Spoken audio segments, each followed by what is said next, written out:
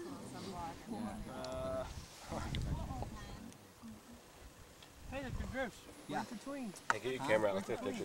Yeah, I know. All right. Wow, I've been going for hours.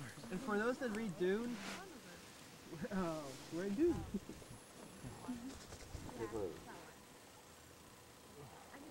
So, you want to explain that thing to me again about the darkness? Why, why is the band being It is his son. Oh, Yeah. You know when you, yeah, you know when you go to Sam's nice and cool.